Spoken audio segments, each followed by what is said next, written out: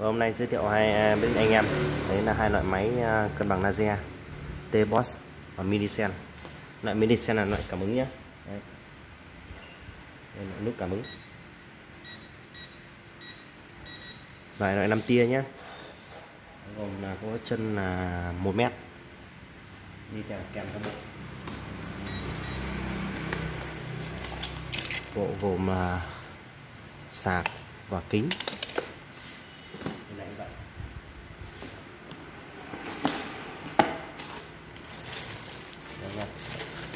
sạc và kính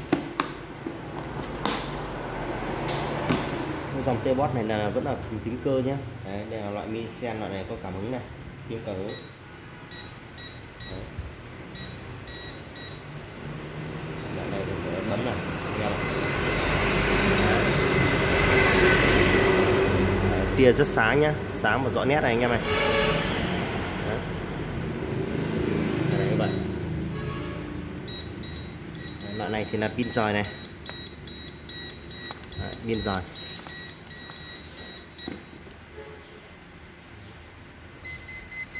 Đấy, loại này thì là pin ở bên trong đây. Anh em nhé sạc trực tiếp cọc này. Báo mất cân bằng. Đấy, rồi, ok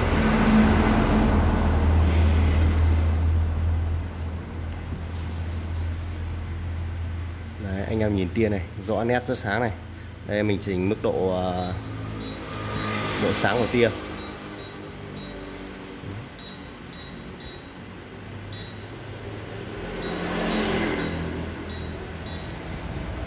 Rồi ok. Anh em cần gì liên hệ mình nhé